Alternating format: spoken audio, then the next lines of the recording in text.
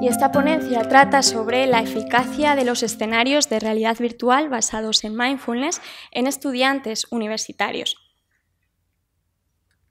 Sabríamos que, sabríamos que los estudiantes universitarios, que esa etapa universitaria es un periodo que está lleno de desafíos y que los estudiantes eh, están sometidos a altos niveles de estrés y ansiedad. Esto podría repercutir en su bienestar, podría repercutir también en su funcionamiento académico, así como también en su futura práctica profesional. Entonces nos encontraríamos con esto, nos encontraríamos con la necesidad de que las instituciones educativas implementen medidas y programas de prevención para mejorar el bienestar de los estudiantes.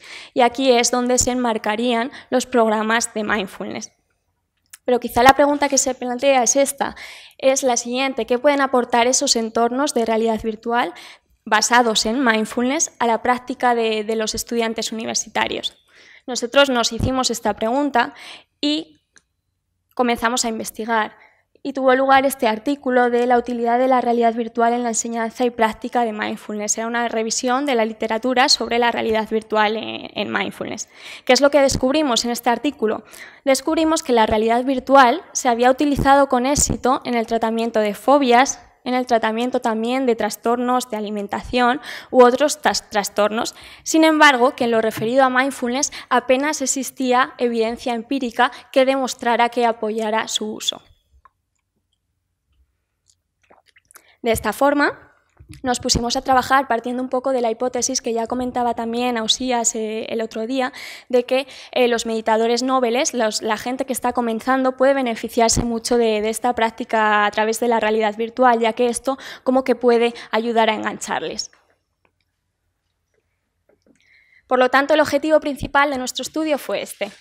Fue evaluar la eficacia y la aceptabilidad de escenarios de realidad virtual basados en mindfulness en esta población. Vamos a ir viendo cómo se desarrolló el estudio. Se trató de un estudio piloto, un estudio piloto que constituiría el primer paso para la realización de un estudio controlado aleatorizado más amplio posteriormente. Es decir, aquí lo que pretendíamos con este estudio es simplemente saber qué resultados, si, si esa realidad virtual podría ser positiva. Como participantes, tomamos a 72 eh, estudiantes universitarios de, Zaragoza y de la Universidad Nacional de Educación a Distancia, que tenían una edad de aproximadamente 24 años. Y lo que hicimos con ellos fueron seis sesiones de realidad virtual. Cada sesión de realidad virtual se hacía una vez por semana, es por ello que esta intervención se tuvo lugar durante seis semanas. Se les hacía, cada sesión se les hacía, se les pasaba unos cuestionarios que tenían que cumplimentar, después se hacía la sesión de realidad virtual, que ahora veremos a continuación, y posteriormente se les hacía una evaluación post para comprobar si habían habido algún tipo de mejora. Vamos a ir viendo cómo fueron estos escenarios. Aquí tendríamos el primer escenario, sería la práctica de los sentidos y del saboreo. En esta práctica lo que harían los estudiantes eh, sería caminar conscientemente a través de un paisaje y ellos encontrarían distintos elementos ante los que tendrían que detenerse. Por ejemplo, un árbol cayendo las hojas o bien ante, tenían que llevar su atención a estímulos auditivos, a estímulos visuales como los sonidos de un río, los sonidos de los pájaros y en un momento determinado también eh, se detenían ante un limonero y entonces lo que, lo, que, lo que ocurría era que aparecía un limón y ellos tenían que fijar su atención en el color del limón, en la textura del limón. La mayoría de los estudiantes indicaron que, que, sí, que habían sentido ese proceso de salivación en su cuerpo, que habían sido conscientes de esa experiencia a través de la realidad virtual. Aquí tendríamos la segunda. La segunda sesión sería la práctica del body scan, esta práctica lo que consiste es en focalizar la atención en la respiración y en las diferentes zonas del cuerpo. Para ello, los estudiantes veían esta silueta. En esta silueta se iluminaban distintas zonas en función de las zonas del cuerpo a, las, a los que el estudiante debía centrar su atención. Iríamos con la sesión 3. La semana 3 sería la práctica de la figura del observador. Esta práctica conecta con la noción de distanciarse de los pensamientos, observar los pensamientos sin quedarse atrapados por ellos. Lo que hacíamos en esta práctica era que los, eh, los estudiantes veían como un fuego, el fuego adoptaba distintas formas, adoptaba distintos colores, al igual que los pensamientos también adoptan distintos contenidos, adoptan distintas intensidades, por lo cual observaban el fuego desde la distancia, es como si observaran sus pensamientos también desde la distancia. Aquí tendríamos la práctica de la respiración ante situaciones difíciles, que era la, vamos a poner, vamos a poner un pequeño vídeo porque era la práctica preferida de, estos estudiantes. Lo que consistía era ellos estaban ante, ante un entorno de examen y tenían que realizar una práctica de la respiración guiada, posteriormente realizarían ese examen. Lo que pretende esta sesión, lo que pretende esta práctica es ayudar a, a los estudiantes a encontrar esa calma y esa serenidad en esos momentos con los que están tan, en los que están tan acostumbrados a vivir. Vamos a ver esta, esta realidad. En este vídeo no sale la parte de la práctica de la respiración, pero tened en cuenta, tened en mente que previamente a la realización del examen los estudiantes realizan esa práctica de la respiración. Ya, ya, ha sido un tema difícil. Me ha costado mucho tiempo entender.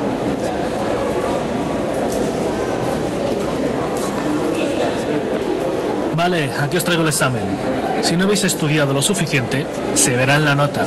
Eso, preguntas cortas con dos opciones de respuesta de las cuales solo una es la correcta. Tienes el tiempo justo para completar el examen. Ya está.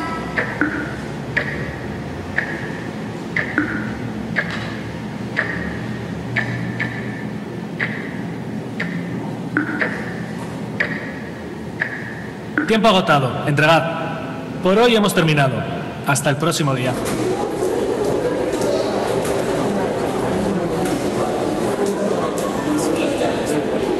Ah, se ha acabado el tiempo y no he podido responder todas las preguntas. Esto sería un poquito una breve descripción de, la práctica, resumen de la práctica. Como veis, es algo muy. Este, este entorno es realmente inmersivo. Los estudiantes luego nos comentaban que gracias a esto, que como que luego había llegado el examen y se, y se habían puesto en situación y previamente a la realización del examen habían realizado esta práctica de la respiración continuaríamos en la quinta sesión, la quinta semana, recordad, con la práctica de la aceptación de emociones difíciles. Esta práctica lo que se basaría sería en identificar eh, una situación actual en la que haya surgido un tipo de emoción negativa y eh, para posteriormente aprender a aceptar y a soltar esa emoción a través de esos delfines que se veían en pantalla.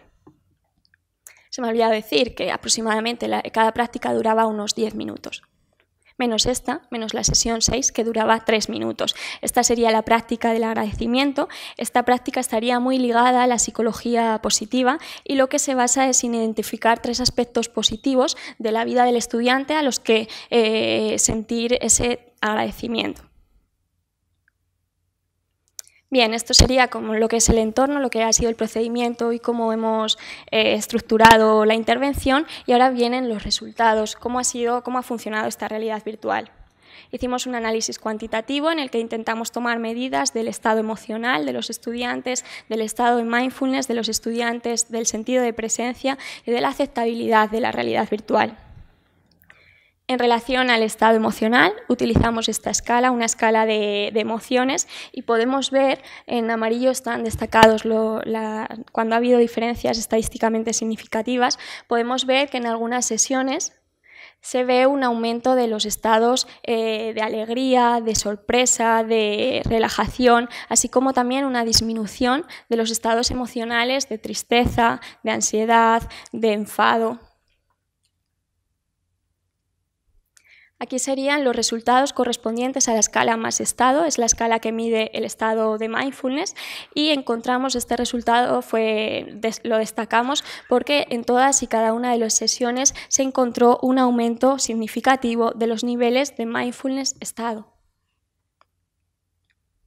Y también valoramos también cómo era esa realidad virtual. Encontramos que algunas encontramos fluctuaciones, encontramos cambios entre unas sesiones y otras, lo que quiere decir que quizá unas prácticas resultaban ser más inmersivas que otras. Por ejemplo, esta que habéis visto del contexto de examen sí que era la que más inmersiva le, les resultaba. Les preguntamos lo siguiente, ¿en qué medida cree que la realidad virtual fue útil para la práctica de mindfulness? Se les preguntó a través de una escala en la que 0 era nada y en la que 10 era muchísimo y se encontró lo siguiente. Se encontró, uy, perdón, se encontró que puntuaron, esta es la mediana, la mediana puntuó un 9. Aquí tenéis los resultados un, poquito más desglosados. Pues, por ejemplo, eh, vemos como un 4% de los estudiantes suspendieron la realidad virtual, pensaron que no, no, les, no les resultaría útil, pero que sí luego, por ejemplo, un 34,72% eh, de los estudiantes la puntuaban entre un 8 o un 9, o bien un 30, 29, 30% de los estudiantes la puntuaban con un 10.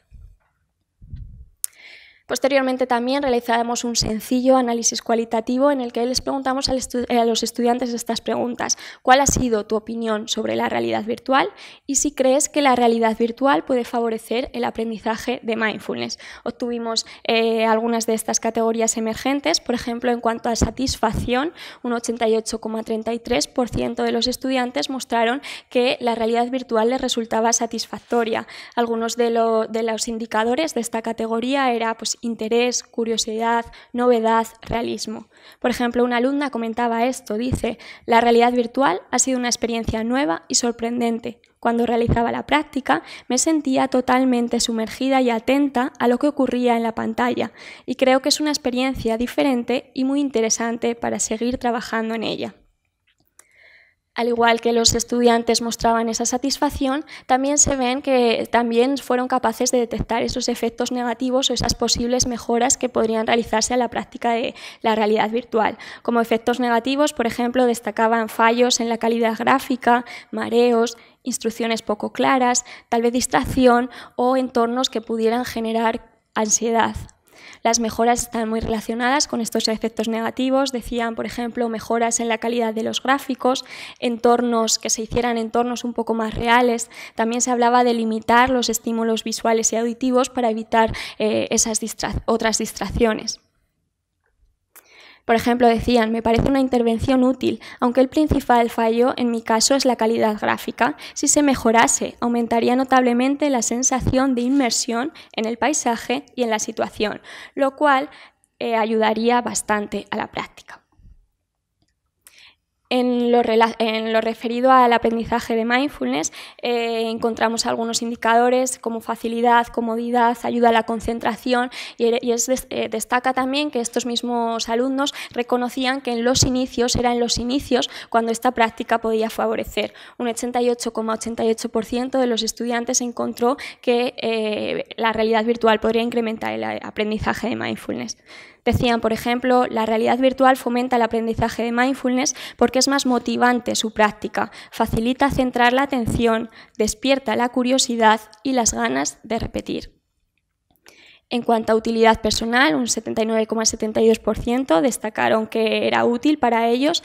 Esa utilidad se medía en la capacidad de darse cuenta y tomar conciencia, en el incremento de la concentración, en sensaciones de bienestar y relajación, en conexión con uno mismo, focalización de la atención, posibilidad de transferirlo a situaciones reales. Por ejemplo, al sumergirte en los diversos escenarios, vives la situación y te enseñan cómo estar bien en ella, por lo que descubres que puedes enfrentarte a un problema, superarlo y te prepara también para la vida real. Y finalmente ya en, relación a la utilidad profesional, solo un 16,66% eh, informaron sobre esto eh, y la mayoría dijeron pues, que esto les podría servir para exposición a fobias, para generación de situaciones o emociones difíciles o también para personas con dificultades de movimiento. Por ejemplo, decían, las aplicaciones como futura terapeuta ocupacional me parecen muy diversas y creo que se debería trabajar más con este tipo de herramientas.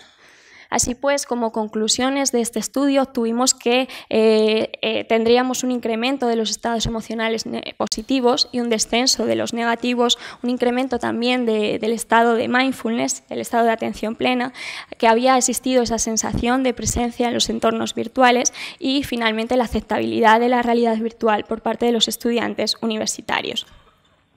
Estos resultados nos llevan a querer continuar eh, realizando investigación sobre esto. Es por ello que ya planteamos este estudio, un estudio más amplio, un estudio controlado aleatorizado, en el que tendríamos tres grupos y se, asignarían aleatoriamente a los participantes, bien en un grupo de mindfulness, una intervención de seis semanas, bien en un grupo de mindfulness complementado con realidad virtual, también de seis semanas de duración, o bien en un grupo control, un grupo relajación. Nuestra hipótesis sería pues, que este grupo 2 obtendría quizá unos mejores resultados que el grupo 1, que el grupo 3. Así que esto sería todo, comentar simplemente que la realidad virtual tiene un potencial, un potencial muy grande y que eh, su uso podría favorecer la eficacia del aprendizaje de mindfulness, la eficacia de mindfulness, por lo que continuaremos investigando. Muchas gracias. Ahora, muy bien. Bueno, pues decía que muchas gracias a todos ustedes por estar aquí, gracias a la presentación. Una aclaración, hace un mes y medio que ya no soy decano de la Facultad de Psicología de la UNED después de ocho largos años. Ni podía seguir ni, quería, así que para aclarar ese matiz. Bueno, este es un extracto de una conferencia que ya di en otro congreso que organizó Javier y yo le agradezco, pues bueno, que haya querido volver a que yo me dirija a ustedes sobre esta temática. Estoy seguro que te gustó tanto, Javier, que no, has podido desapegarte y dijiste, bueno, pues al menos un extracto quiero que vuelvas a dar. Gracias de cualquier modo, más allá de, las bromas. Se trata de bueno, pues una presentación del estado del surgimiento del mindfulness en la Universidad Española y de algunos datos que tienen que ver con la presencia del mindfulness en la Universidad Española. Eh, la estructura de la ponencia es la que ven ustedes en pantalla. Hablaré en, primero, en primer lugar de los orígenes del mindfulness en la Universidad Española. A continuación de las tesis doctorales, que es un indicativo importante de, cuál es la presencia en términos de investigación en la universidad. También de los, de los artículos que se publican sobre mindfulness que tienen firma de autores españoles, bien, bien que todos ellos sean españoles o bien que haya algún autor español. También hablaré de, en cuarto lugar del mindfulness en la formación, es decir, en la docencia universitaria española y algunos problemas y retos. Empezaré con los orígenes, que es el primer punto del esquema que les acabo de señalar. Posiblemente la, primera presencia de mindfulness en la Universidad Española eh, viene de la mano de Fernando Rodríguez Bornaechea, que de 1995 a 2004 tiene una asignatura de psicología transpersonal de segundo ciclo según él, quizá la primera vez que se impartía en grados oficiales en toda Europa. Eh, a continuación, a partir del 97, eh, presenta un seminario de meditación vipassana para eh, personal docente investigador y también para personal de administración y servicios. Según él, me gusta esta nota, la izquierda Berchale hacía pintadas en contra pensando que íbamos a quitar el ardor guerrero a, a las jóvenes generaciones aberchales. En el 97 funda el Instituto Baraca y en 2007 se edita el libro que aparece en pantalla, Psicología y Conciencia, eh, en el que tengo el honor de participar sobre un capítulo sobre acepciones y conceptualizaciones del yo y que el libro en su conjunto parece ser el primer libro español que aborda la psicología de la conciencia desde, estas ópticas. También en la UNED eh, hicimos una, a mi modo de ver, importante contribución a, la presencia de mindfulness en el seno de la universidad en particular el profesor Santiago Segovia, que desde 1999 hasta 2012 imparte un seminario de meditación, meditación Zen, Vipassana, Dochen, etc. Es un seminario que es gratuito para PDI, para PAS, para alumnos y que acude pues bastante gente. Eh, también comenzamos con cursos de verano, en distintos lugares en los que siempre se impartían algunas ponencias sobre, sobre meditación, sobre budismo, etc. Y también cursos de extensión universitaria, que en este caso pues dirigía yo mismo. En la Universidad Complutense, José María Prieto, ya en una fecha tan temprana como 2003, tiene una asignatura optativa de Zen, eh, en primer y segundo ciclo. y también una asignatura de Psicología, Meditación y Espiritualidad en posgrados. Todos conocemos la figura importante de Vicente Simón, que en 2005 tiene un seminario de meditación en la facultad. Y de 2010 a 2014 él destaca la gran difusión de su curso online Aprender a practicar mindfulness. También es cofundador de, la, de AEMIN, de la actual eh, así denominada AEMIN, eh, y quizá de alguna manera eh, debamos destacar la importancia del libro, de su libro de 2011, Aprender a practicar mindfulness. Maite Miró coordinó un número monográfico de la revista de psicoterapia dedicado a mindfulness y aquí en la Universidad de Zaragoza destacamos la importante labor de mi querido amigo Javier García Campayo, que en 2006 empieza con grupos de mindfulness optativos dentro de la asignatura Entrevista Clínica y también taller práctico en la asignatura Psicología Médica. A partir de 2007 imparte distintas ponencias y talleres de mindfulness en los congresos de entrevista clínica y destacamos la publicación La práctica de estar atento en medicina. Es un artículo de la revista Atención Primaria que tuvo un importante impacto y sobre todo a partir de 2013 el máster eh, de Mindfulness de la Universidad de Zaragoza en el que me honro de ser eh, ponente. Finalmente destacaré también la labor en la eh, Complutense de Agustín Monivas y Gustavo Diex con su experto universitario Mindfulness en contextos de salud y también con la impartición, impartición ya desde hace muchos años del MBSR. ¿Qué suponen todos estos hitos? Obviamente hay más, cosas en la Universidad Española sobre mindfulness, pero estoy señalando los orígenes, algunos hitos en el surgimiento histórico del mindfulness en la universidad, ¿verdad? Sin desmerecimiento de otras actividades que existen en el momento presente. Me estoy refiriendo, por lo tanto, solo a los orígenes. Todos estos hitos, ¿qué suponen y cómo lo vivimos desde dentro de las personas que estamos implicadas? Pues es una oferta formativa diferente en el seno de la universidad, algo que no existía hasta ese momento. También es un quehacer diferente de tipo vivencial, en el Ah, en el, pues bueno, el PAS, el PDI, comienzan a hablar de meditación, comienzan a hablar de mindfulness, comienzan a, implantar un nuevo lenguaje, unas nuevas conversaciones sobre su práctica vivencial, ya que acuden semanalmente en muchos casos, por ejemplo en el nuestro, pues a, una hora de meditación. También supone para muchos de nosotros una cierta dificultad. Muchos colegas miraban y siguen mirando con recelo, ¿verdad?, nuestras, nuestras actividades. Eh, por ser muy sabe, yo diría que con displicencia, cuando no con un abierto rechazo y crítica. ¿no? Pero la presentación científica contribuyó mucho a modular dicho recelo. ¿no? Todavía existe dicho recelo, pero bueno, eh, la abundancia de publicaciones, de libros de carácter científico, pues han contribuido a minorar, a minorar esta actitud. Em, bien, y con esto dejo un poco los hitos de los orígenes del mindfulness en la Universidad Española y paso ahora a dar breve cuenta de las tesis doctorales leídas en España que tienen en su título Mindfulness, Atención o Conciencia Plena, o Conciencia Plena. Ahí he presentado, em, bueno, pues desde la primera tesis que se leyó por nuestro querido eh, colega y amigo Ausias Cebolla, que llevaba por título Eficacia de la terapia cognitiva basada en la atención plena en el tratamiento de la ansiedad y la depresión. Desde entonces se han producido una serie de tesis, obviamente no voy a señalarlas todas ellas dando cuenta de los títulos, de los autores y de las fechas y de las universidades, porque las estoy pasando rápido y les voy a ofrecer un resumen ordenado sobre, en primer lugar, los núcleos temáticos de todas estas tesis que se han leído. Abordan mindfulness y estrés, ansiedad, depresión, adicciones, burnout, duelo, trastorno límite de la personalidad, juego patológico, trastorno mental crónico, regulación emocional, mindfulness en distintas condiciones médicas como fibromialgia, SIDA, Alzheimer, cáncer, mindfulness y psiconeuroinmunología, mindfulness y deporte, por ejemplo, sobre el rendimiento deportivo o las lesiones, desarrollo personal, análisis experimental de la atención plena, y otras tesis sobre psicometría. Esa es la evolución de las tesis desde 2007, que, es la primera de Ausias Cebolla, hasta la actualidad. Ven que hay un pico importante en 2016, 2015, 2016.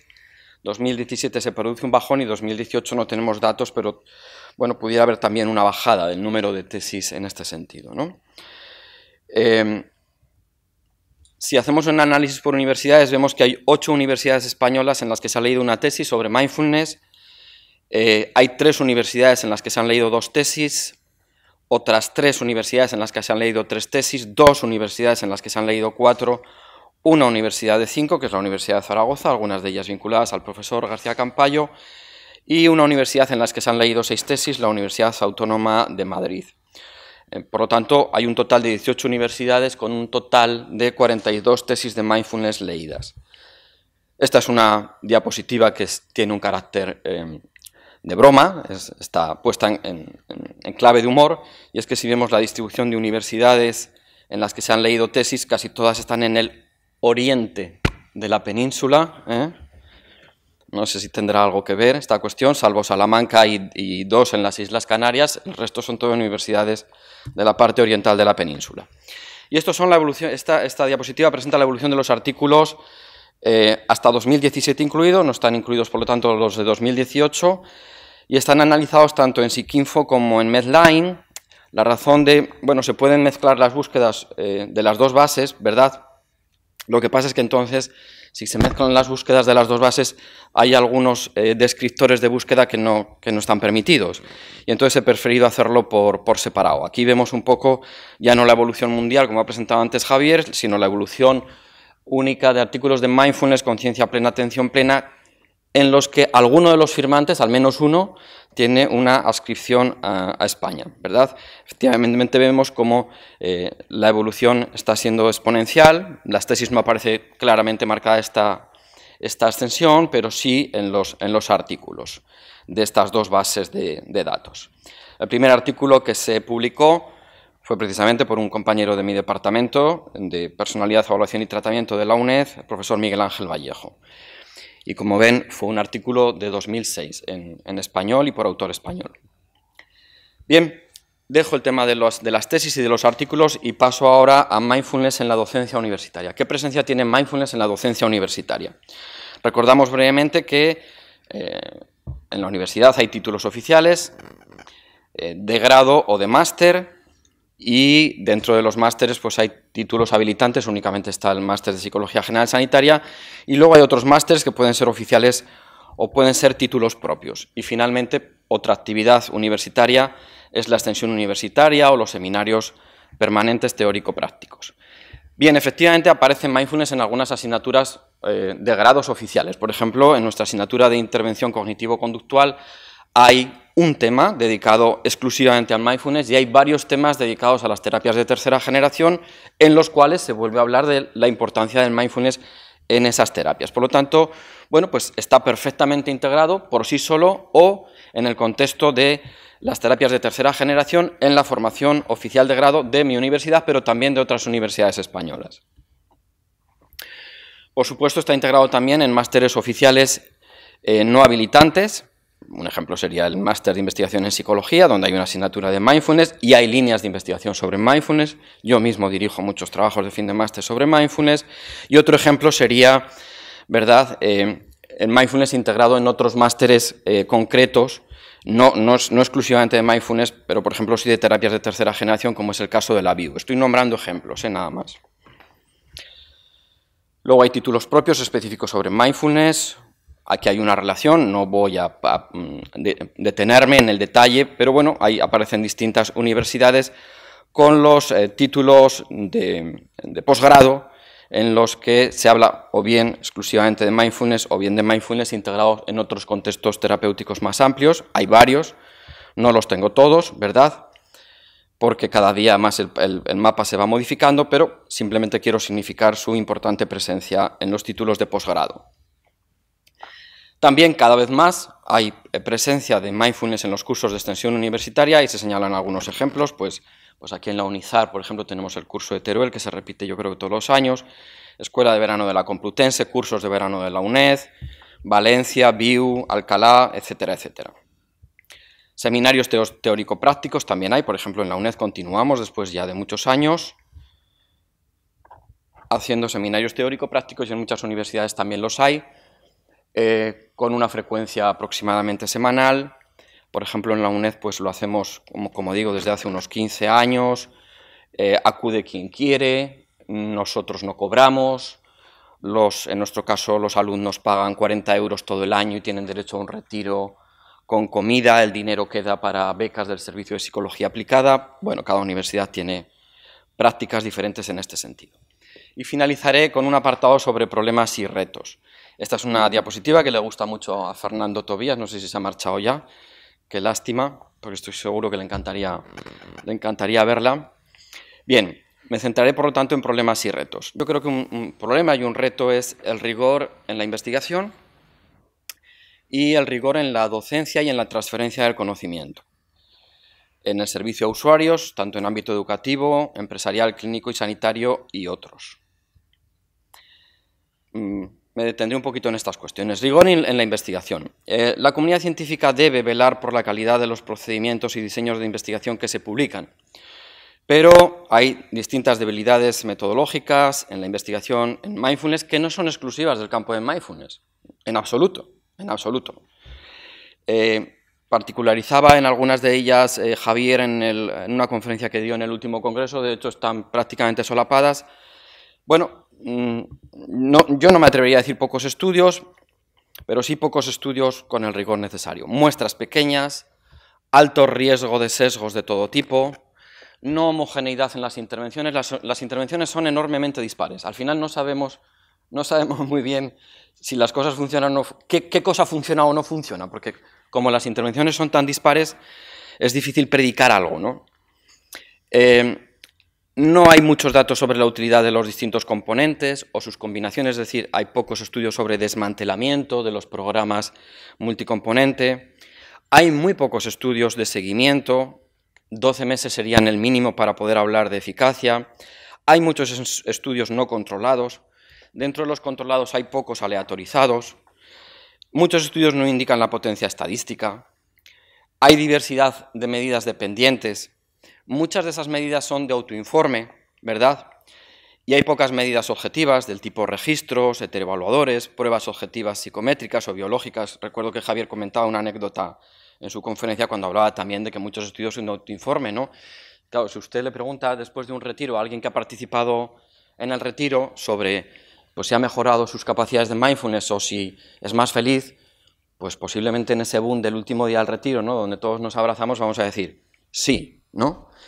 Claro, decía, tú citabas a un investigador eh, del Reino Unido, ¿no? Que decía, no sé lo que diría mi, a mi mujer cuando vuelvo a casa, ¿no? Pero claro, si me preguntan a mí, pues tiendo a decir que sí. Entonces, los estudios de autoinforme, que son muy necesarios, porque es la única manera de saber qué es lo que la persona piensa de sí misma o siente, o qué conciencia tiene de, de sí mismo, ¿verdad? Son necesarios, por lo tanto, pero deben ser complementados con registros conductuales, con heteroevaluadores, con pruebas objetivas de tipo psicométrico o de tipo biológico, que las hay. Bien, también es un reto eh, el rigor en la docencia, en la difusión, en la transferencia del conocimiento, por, lo tanto, eh, en este sentido, profesores, investigadores, editores y profesionales tienen, tenemos la responsabilidad sobre una rigurosa y adecuada difusión de la ciencia. La universidad debe ofrecer la formación adecuada, potenciando el estudio científico crítico de la evidencia disponible y la práctica basada en ello. Pero, pues no siempre damos una visión rigurosa de la evidencia científica disponible, lo que dificulta la práctica basada en la evidencia. Pues, por ejemplo, yo oigo casos de personas que van a una consulta y les han aplicado un tratamiento basado en mindfulness para un determinado problema y todos sabemos que las guías de práctica clínica dicen para ese problema, no voy a entrar en uno en concreto, es mindfulness no es el tratamiento más adecuado. Incluso a veces aparece contrarrecomendado en la guía. Entonces, ¿por qué, perdónenme, narices, aplicamos un tratamiento que no tiene aval científico, que no tiene apoyo empírico, o que incluso está contrarrecomendado, cuando hay otros tratamientos que sí lo han mostrado? Y entonces es, bueno, no estamos utilizando los tratamientos basados en mindfulness para los problemas o trastornos en los que sí efectivamente está recomendado. Entonces, parte de la universidad tenemos problemas. Cuando, enseñamos mindfulness tenemos que decir, mire usted, mindfulness ha mostrado su eficacia en esto, en esto y en esto, en esto ha mostrado una eficacia alta, en esto ha mostrado una eficacia moderada, y en esto no parece haber eficacia. Entonces, por favor, no apliquen ustedes un tratamiento basado en mindfulness para aquello en lo que no es que no se sepa, sino que sí hay ensayos controlados, ¿verdad? Y las guías de tratamiento recogen que para eso no hay eficacia.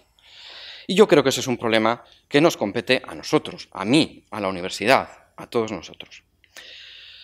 Bien, eh, en el servicio al cliente, al usuario, ¿verdad? Bueno, aquí insistir un poco en lo mismo, pongo ahí el escudo de Zaragoza porque yo soy de esta ciudad, yo soy, yo soy, de, yo soy de Zaragoza, yo soy del Zaragoza, contaba que yo siempre creo que el Zaragoza pierde porque los árbitros están en contra del Zaragoza, hay, hay complots en contra del Zaragoza, no ha subido a primera, no sé muy bien por qué, es, la verdad es que no se puede entender, eh, pero yo estas divagaciones las tengo en el sofá de mi casa y yo puedo hacer lo que quiera, lo que me apetezca respecto de mis ideas sobre el Zaragoza. Cuando tengo delante un usuario, cuando tengo delante un paciente que sufre, no puedo actuar o pensar o sentir del mismo modo que lo hago respecto del Zaragoza. Obviamente habrán comprendido ustedes que es una broma, es decir, me gusta que gane Zaragoza, pero la verdad es que mi delirio no va a más, ¿no?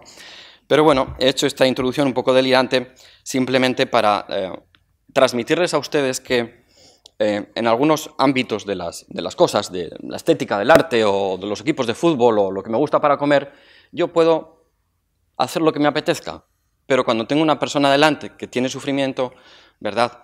Si añadimos además que esa persona paga un dinero o que en su caso los sistemas nacionales de salud tienen que hacer una inversión en esa persona, tenemos que aplicar tratamientos basados en la evidencia. Para eso, desde los años 90, ya desde Estados Unidos, tenemos el movimiento de terapias basadas en la evidencia. Debemos saber para qué funcionan las distintas terapias. Debemos saber para qué funciona mindfulness, para qué efectivamente es bueno mindfulness, que lo es para muchas cosas, pero no lo es para todo, no es una panacea, como señalaba anteriormente Javier, ¿verdad? Y a veces, pues llevados un poco por un espíritu devocional de mindfulness, ¿verdad?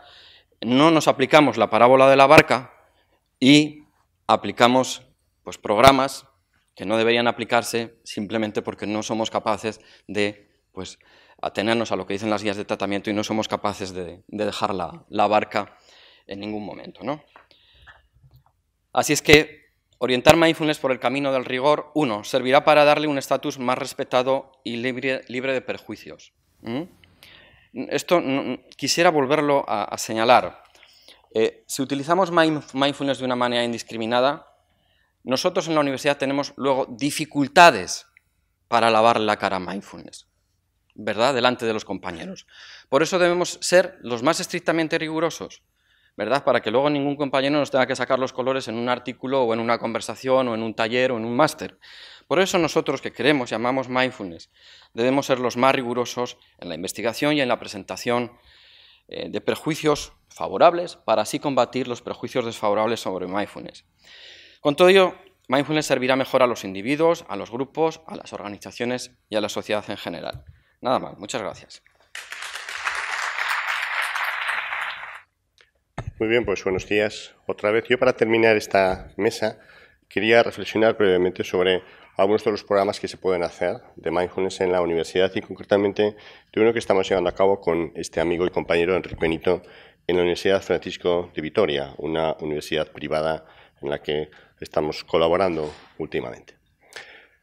Voy a hablar un poco de cómo la etapa de la universidad es un desafío para muchos de nuestros alumnos, cuál es la evidencia científica de mindfulness en este ámbito, el universitario, algunos programas nacionales e internacionales que se han desarrollado para este entorno universitario y muy brevemente nuestro programa de mindfulness y algunas conclusiones, reflexiones para poder eh, abrir una mesa de debate. Recientemente revisamos todo lo que había con nuestro equipo. Marta Modrego dirigía este eh, artículo con Irene Delgado, las dos compañeras que más están trabajando en el tema de la educación, Maite Navarro, etcétera, sobre cuál era la evidencia científica que había en este momento, que era lo que se estaba haciendo en el campo de mindfulness en la educación universitaria, no en la no universitaria, este es otro mundo diferente, pero sí en la universitaria vemos que uno de los mayores temas, como les comentaba, es el estrés al que están sometidos nuestros universitarios. Yo creo que no somos conscientes. ¿eh? Bueno, si se tienen hijos, seguramente en esa edad universitaria sí, pero piensen que en países como Estados Unidos las tasas de suicidio en universitarios son más altas que el resto de la población, significativamente más altas. ¿eh? Pongo el suicidio como el ejemplo máximo de, de expresión de malestar psicológico. Entonces, Claro, las condiciones son que hay un gran aumento de la carga de trabajo académico. Nuestros eh, estudiantes están sometidos a un gran estrés por mm, que tienen que, rendir los exámenes, la importancia de las notas finales para su futuro profesional, posterior profesional y personal. La, profesión es seguramente lo que más impacta en, la vida de, de los individuos, las preocupaciones por los aspectos económicos, las perspectivas de empleo, qué pasará cuando acabe la carrera, de nuevo, si tengo un buen resultado académico es más probable que pueda trabajar, cambios en los horarios con respecto a la fase más preuniversitaria, los hábitos alimenticios, ¿no? Yo creo que todos recordamos nuestra época de estudiante que aquí era un caos total, ¿no? Dormir, comer, en fin, y todo. Eh, la adaptación a nuevos entornos, en fin, una serie de situaciones que hace que se esté más estresado, ese estrés académico que se demuestra en una disminución del bienestar del alumno, hay mayores niveles de depresión, de afecto negativo en general, puede haber eh, la posibilidad de conductas de riesgo, como es el consumo de sustancias en general, alcohol, tabaco, tranquilizantes. Hay estudios muy interesantes y escalofriantes del consumo de sustancias, y no me refiero solamente a alcohol, tabaco, sino de psicofármacos entre nuestros estudiantes. ¿eh? Y todo esto, lógicamente, va a influenciar el funcionamiento académico porque la dedicación al estudio, la asistencia a las clases, puede producir dificultades en atención o concentración y también dificultades en la regulación emocional. Yo creo que los que tenemos contacto con estudiantes en la universidad o con residentes, MIRES, PIRES, etcétera, quizás uno de los aspectos que más nos impresiona es las mayores dificultades de regulación emocional que tienen nuestros estudiantes comparados quizás con la época en la que estudiábamos nosotros. Mindfulness podría ser útil en muy diferentes aspectos, ¿no? Eh, pues desde un mejor afrontamiento del estrés, ¿no? la, mejor regulación emocional, yo creo que es uno de los temas clave, aprendizaje de eh, herramientas útiles mediante estas dinámicas de grupo, el intercambio de experiencias que ocurre en los grupos, que es el sistema estándar de formación de mindfulness. Por supuesto, los contenidos didácticos del curso, que nos van a enseñar a manejar mejor los estresores, a autocuidarse. Sí que hay un componente autocompasivo en mindfulness, evidentemente, que va a ser muy útil. Los aspectos experienciales del curso, la propia práctica, permite mm, experiencias que uno va a poder ir incorporando y que cambian al individuo también desarrollar una práctica, una rutina de meditación, de mindfulness, y también el ejemplo encarnado de los profesores. ¿no?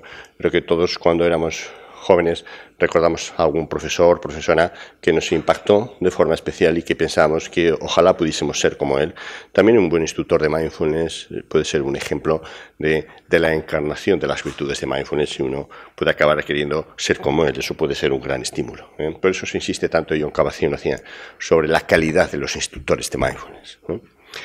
Hay cada vez más evidencia científica en las universidades y se proponen a los alumnos diversas iniciativas y programas, pero todavía, como comentaba el profesor Sánchez, la evidencia científica es insuficiente. Hay pocos estudios en este campo, en otros de mindfulness en la salud hay más estudios, pero en este campo no hay demasiados y los que hay pues son de calidad limitada en el contexto de lo que él estaba contando, el seguimiento, el tamaño muestral, etcétera, etcétera, con lo cual no, son fáciles eh, metaanálisis que nos permiten eh, tener una suficiente evidencia científica. Algunos de los estudios más destacados son estos, eh, las diapos se las pasaré lógicamente a quien tenga interés, como el estudio de Vive en 2013, con casi 300 estudiantes de psicología en universidades noruegas, Oslo y Tromso, y se observa eh, mejoras en el malestar psicológico, el bienestar subjetivo y, lógicamente, la atención plena, que sería el factor mediador, teóricamente. Hay un estudio de los más importantes de Julieta Galante, y es una argentina que trabaja en Cambridge, con la que nosotros tenemos una muy buena relación. Vamos a estar este verano con ella, tanto Marta Modrego como yo, que hace este estudio que seguramente es de los de más referencia, más de 600 estudiantes de Cambridge, en los que se observa que un tercio menos de probabilidades de experimentar niveles de estrés es eh, la consecuencia. ¿eh? Datos muy significativos. Aumenta esta resiliencia, esta capacidad de adaptación al estrés. Estos mismos estudiantes tienen también mayor bienestar percibido. De nuevo, disminuye el afecto negativo, aumenta el afecto positivo. Metaanálisis, pero no estrictamente solo sobre mindfulness, porque ya han visto los dos o tres estudios que hay, eso no permitiría un metaanálisis. Hay metaanálisis sobre intervenciones preventivas en la universidad, donde mindfulness puede ir como un paquete más, como un, eh, un ingrediente más, pero no de forma exclusiva. Algunos de los más importantes son este de Reyer y colaboradores que revisan 24 estudios con casi 1.500 estudiantes, es una cifra ya interesante, donde se confirma la eficacia para reducir el estrés. Pero insisto que no se hacía solo mindfulness, se hacían otras técnicas también. El estudio de Conley y colaboradores 2017, ya ven qué reciente es todo, ¿eh? el año pasado Por eso les decía la gran actividad que hay investigadora en este momento. De nuevo, metaanálisis de 60 estudios, en este caso ya, más impresionante, casi 4.500 estudiantes. Y hay un impacto positivo en los programas de prevención ¿eh? en el riesgo de enfermedad mental. Es decir, los mm, estudiantes van a tener menos probabilidades de desarrollar una enfermedad. Eh, otra revisión, McConville, en 2017 también, mm, se analiza en 19 estudios poco más de 1.800 participantes y de nuevo se confirma la eficacia ¿eh? en este metaanálisis para disminuir el estrés, la ansiedad, la depresión y para mejorar la atención, el estado de ánimo, la autoeficacia y la empatía de los estudiantes. El tema de la empatía no es un tema menor. ¿eh? En áreas como la salud o la educación, la empatía es un aspecto clave. De hecho, comentábamos eh, asignaturas, yo doy comunicación con el paciente, eh, es una de las asignaturas que va dedicada a desarrollar la empatía de los profesionales sanitarios. Y mindfulness puede ser una excelente técnica para ello. Hacemos una rápida revisión de programas nacionales e internacionales sobre el tema. ¿no? Marta Modrego ha hecho esta revisión, donde se ve, por ejemplo, en la Universidad de Edimburgo, ¿no? se hacen programas de ocho sesiones, se estructuran en dos bloques, se habla de calma y de atención. En la Universidad de Nevada, en Reno, Estados Unidos, ¿eh? Dos sesiones solo, ya ven que la variabilidad de las sesiones es enorme, lógicamente, cuanto más sesiones, mayor supuesta eficacia, pero también menor adherencia, ¿eh? va a haber más pérdidas de los participantes. Entonces es difícil encontrar ese equilibrio. ¿no? Es una de las grandes reflexiones que se plantean cuando uno imparte un programa general, pero también en la universidad, porque piensen que estas personas están sanas. Es más fácil cuando empieza el MBSR John Cabacín en el 79, las personas a quien va dirigida ese MBSR eran personas que están muy mal médicamente, psicológicamente. Lógicamente ellos van a hacer una inversión mucho mayor. Cuando se les pedía 45 minutos de práctica, claro, estaban tan mal que es más fácil tener ahí motivación. Pero si uno está más o menos bien, pues la motivación es más baja. ¿eh? Desde tiempos de Freud en psicoterapia se considera que un elemento clave es sufrir. Si uno no sufre, no busca esa salida del sufrimiento.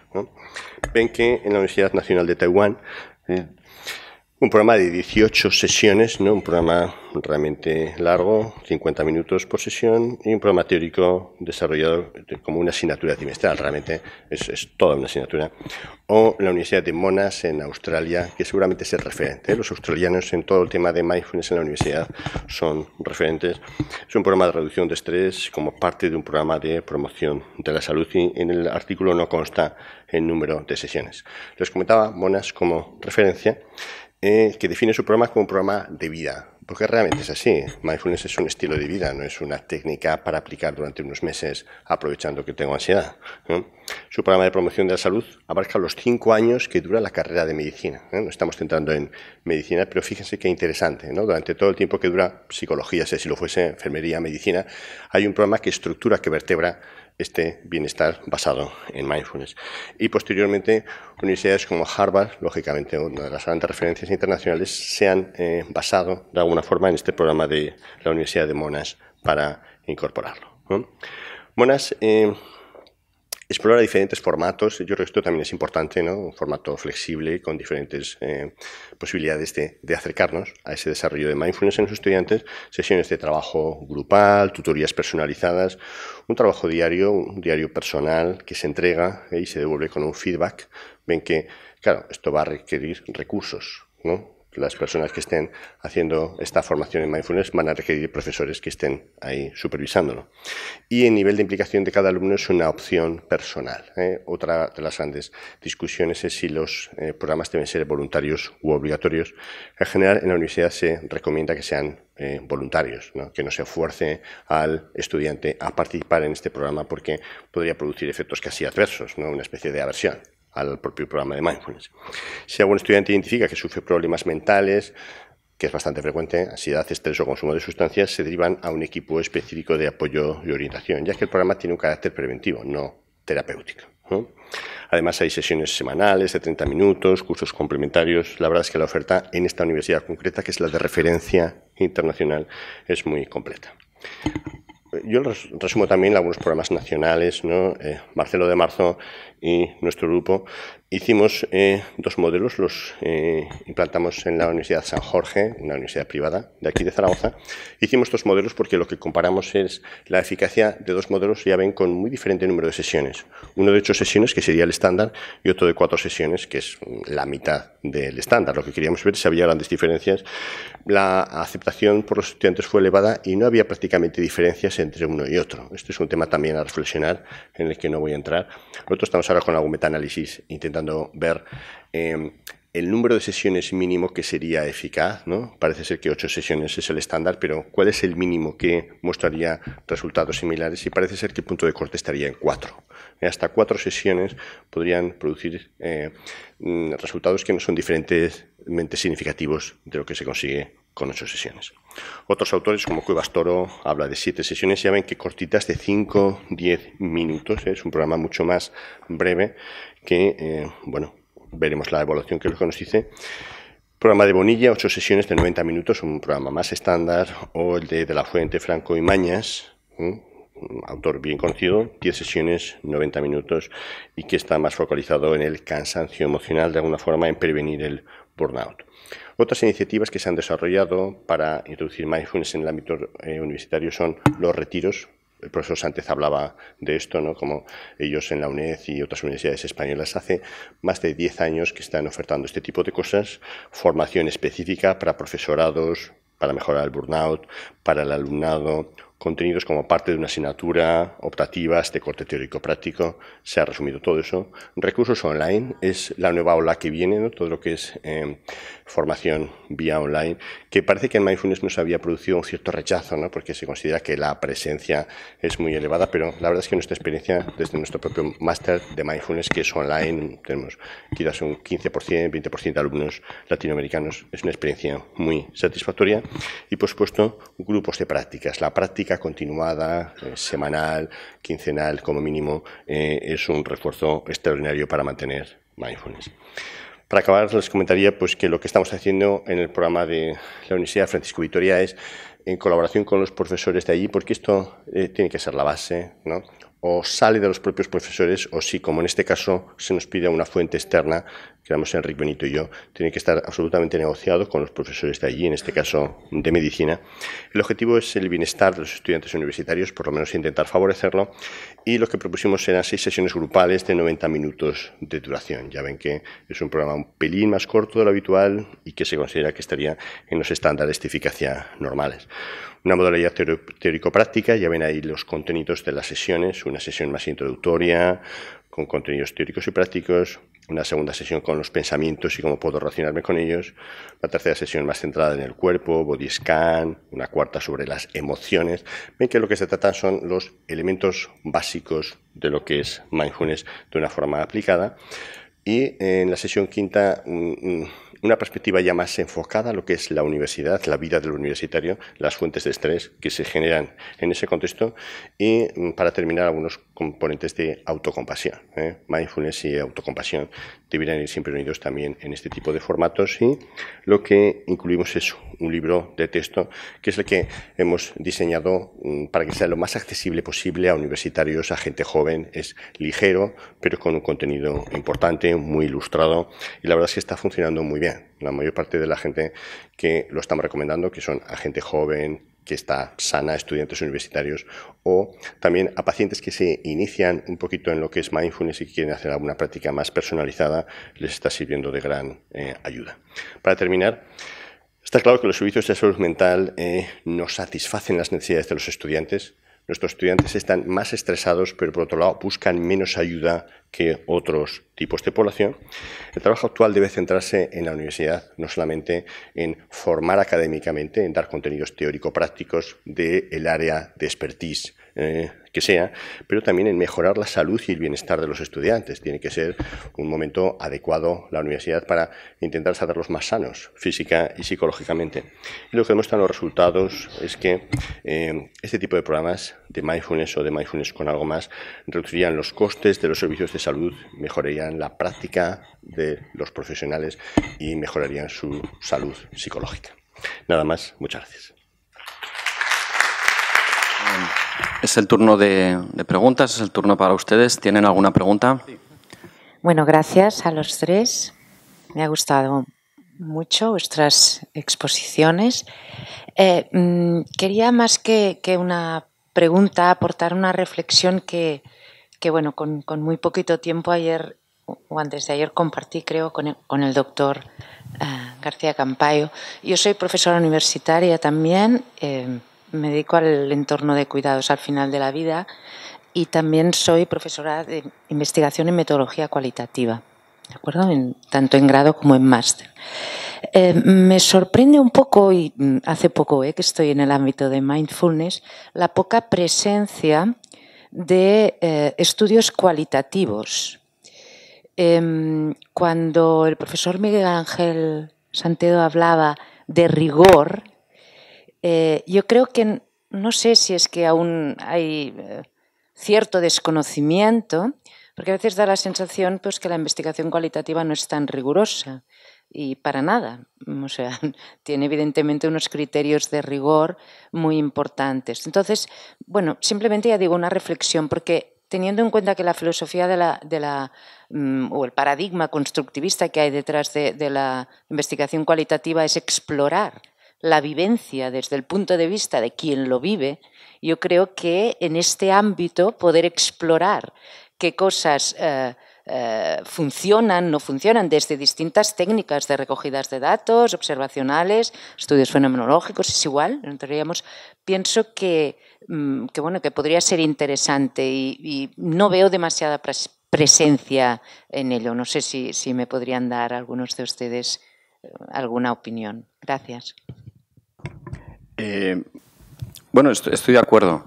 Estoy de acuerdo. No hay mucha presencia. De hecho, yo creo que hay unas ciertas hasta dificultades para publicar estudios cualitativos en revistas eh, de cuartiles altos. Eh, pero efectivamente, coincido con tu reflexión en que hay poca presencia de la metodología cualitativa, que quizá existe un prejuicio, quiero decir, por lo tanto, un desconocimiento de las bondades de la metodología cualitativa, Creo también que del mismo modo que he dicho que los autoinformes deben complementarse con otro tipo de medidas, eh, también la metodología cualitativa debería estar presente como un complemento, es decir, es que no, no son campos excluyentes, lo cuantitativo y lo cualitativo. Lo cuantitativo, por el hecho de ser cuantitativo, no es más bondadoso. Yo, por ejemplo, suelo señalar que en los autoinformes nos engañamos mucho al solitario, pero no obstante son metodología cuantitativa porque al final el autoinforme se transforma en una escala tipo Likert. Pero para nada me parece eso más riguroso que una metodología cualitativa, me parece más engañoso incluso. Pero bueno, pero tiene que tener su presencia el autoinforme. Por lo tanto, yo lo que creo es que tenemos distintas metodologías, que todas ellas se complementan, que no se excluyen y que deberíamos hacer uso de todas ellas. Pero desgraciadamente hay un desconocimiento, un prejuicio y unas dificultades de publicación con algunos tipos de metodología. Sí, yo también añadiría, efectivamente lo estuvimos comentando, ¿verdad? Ayer. Eh, hay, estudios cualitativos, eh, los hay. En el libro que, que, os hemos dado, el de que sabemos de mindfulness, verás que hay un capítulo, una sección dedicada exclusivamente a estudios cualitativos. ¿eh? Ahí eh, creo que hemos resumido seis o siete de los más importantes, lógicamente hay más, pero mm, en mi opinión eran de los más importantes y quería hacer un guiño porque a mí me gusta mucho la metodología cualitativa, tenemos algunas cosas publicadas y entonces, bueno, ahí hemos hecho ese pequeño resumen. Es cierto que del total de los estudios de mindfulness, yo creo que menos del 5% deben ser cualitativos. Razones múltiples, pero un poco, yo ya te lo había dicho ayer, que es lo que ha comentado Miguel Ángel, los que nos dedicamos a publicar y tenemos harta presión del entorno por eh, la calidad de las publicaciones, primeros cuartiles, primeros deciles, es un dolor publicar metodología cualitativa en nuestro contexto, que sean de primer cuartil, etcétera. Primero por la extensión, tienes que ir a Open Access directamente, porque eh, no, te lo publican, ya te digo, te hablo de medicina, psicología, que es lo que conozco, y eh, la verdad es que es un esfuerzo eh, mayor del habitual. Tenemos cosas publicadas, si nos miras, tenemos cosas publicadas exclusivamente cualitativas y con modelos mixtos, donde hay estudios cual y cuantitativos. Pero mi experiencia personal es que nos cuesta más publicar, por supuesto, en revistas de alto impacto. Lo digo porque mi tesis doctoral fue por publicaciones y, y a ver, evidentemente, bueno, tengo publicado un cualitativo en el primer cuartil, pero es que en medicina, y estoy colaborando, codirigiendo tesis, mm, no comparto tanto, o sea, mm, estoy de acuerdo, ¿eh? pero cada vez más revistas de primer cuartil, yo por ejemplo ahora tengo uno en revisión en Palliative Medicine, están eh, aceptando. Quiero decir que es un poco también lo, que decimos. No estoy diciendo para nada que una sea mejor que la otra, ¿eh? es decir, lo interesante es la complementariedad o incluso los mixes de estudios, pero que probablemente ¿no? Mm, mm, tener esta mirada, pues esto, ¿no? del win-to-win sería, sería interesante. Gracias. ¿eh? Yo trabajo en Barcelona, soy internista, no soy psicólogo psiquiatra, que es, y soy un principiante del mindfulness. Hemos intentado hacer un pequeño proyecto de investigación con estudiantes del grado de medicina y enfermería y que hemos presentado en el Congreso, pero lo que sí que me gustaría preguntar, eh, probablemente a la persona que más experiencia tiene, que es pues a Javier, eh, pero pero mm, simplemente por, el tema que, lleva en el mindfulness, imagínate que en tu universidad un día se despierta el decano y te comenta, Javier, ¿qué harías para introducir en el currículum académico, a mí el que me interesa es el de medicina, eh, el tema de mindfulness? Me daría cuenta que es un sueño, sí, pero sigue, sí, Pero, podría ser realidad. Yo estoy convencido que en algún momento lo conseguiremos. A veces pienso que puede ser como cuando yo estudiaba, a mí no me explicaron ética durante la carrera. claro que soy también muy mayor y probablemente ahora sí que se explica. Pero tampoco me explicaron relaciones interpersonales, ni relación médico-paciente, ni comunicación. Todo eso lo daban por hecho que, que lo deberíamos saber. Estoy convencido que en Mindfulness saldrá en algún momento como yo lo veo como una asignatura, como la de ética, pero quería saber tu opinión respecto a esto. ¿Qué, le dirías a ese decano que ese día te, dice, pues quiero ponerlo en la Universidad de Zaragoza como, como asignatura? ¿Cómo lo implementarías? Yo creo que lo, he comentado, porque lo que nos pidió la Universidad de Francisco Vitoria fue eso. ¿eh? El decano de medicina nos dijo, haced lo que queráis, algo que sea accesible para esto, y la propuesta que planteamos fue esta. Yo creo que un programa de formación semanal, tipo MBSR modificado, adaptado a estudiantes, veis un poco lo que son los contenidos, intentando que no sea muy largo porque desanima, ni muy corto porque no es eficaz. Yo creo que seis sesiones, cuatro sesiones está el límite, ocho yo no haría, quizás demasiado, porque estamos empezando. ¿eh? Y eh, veo que en la Francisco Vitoria se planteaba si tendría que ser obligatorio para todos porque querría que fuesen marca de la universidad, es decir, una universidad mindful o por lo menos una facultad de medicina mindful, ¿no? con lo cual sería una asignatura mm, obligatoria y por lo tanto tiene que ser breve. Yo creo que sería un modelo de ese tipo, ¿eh? es decir, unas sesiones de 90 minutos, quizás seis sesiones, frecuencia semanal y luego la posibilidad de mantener. ¿no? de que haya actividades semanales, como comentaba Miguel Sánchez en la UNED, etcétera. Yo creo que eso sería muy vendible y la gente lo está deseando eh, con una charla inicial, introductoria, enfatizando las necesidades que tienen los estudiantes, el estrés al que están sometidos, cómo esto podría ayudarles, eh, si tienen estrés por el estrés y si no lo tienen, porque podría aumentar sus rendimientos académicos y su bienestar psicológico. Yo creo que eso es muy factible, sencillo y cada vez más universidades lo están pidiendo y más facultades. Yo creo que, que no sea tan difícil que eso pueda ocurrir en el futuro. Los modelos serían como esto intentaría evaluarlo dentro de lo posible. ¿no? Y quizás metiendo también estudios cualitativos, como comenta la compañera, sin duda, sí, sí. ¿eh? ¿Sí? Sí, sí. Buenos días. Bueno, eh, felicidades, Javier, por el congreso. Hemos tenido muy poquito tiempo para charlar y, creo que, que, Pero aprovecho este momento para, para, comentar un problema con el que yo me he encontrado. Bueno, yo soy profesor, soy titular, profesor titular de Fisiología Humana. Eh, como formación soy neurobiólogo y en la actualidad en Valencia mantenemos un ensayo clínico abierto en este momento, junto en colaboración con Ausias, eh, con Cebolla y el Hospital de Sagunto en enfermos de Crohn, estrés y determinamos, desde mi laboratorio, determinamos parámetros biológicos y cambios biológicos asociados al estrés y a la inflamación. Es un estudio que, es, muy bonito, es, eh, hemos tenido dificultades con los eh, comités éticos eh, y hemos tenido dificultades que hemos sobrepasado muy bien en la Generalitat Valenciana en el propio hospital y que de verdad en este sentido no hemos tenido dificultades mm, que hayan sido infranqueables. y todos hemos podido pasar y fenomenal. El problema está en que aparece en nuestra universidad una convocatoria de investigación en docencia y planteamos un estudio similar al que planteamos en el ensayo clínico con los pacientes de Crohn, pero asociado en este caso al estrés en la universidad.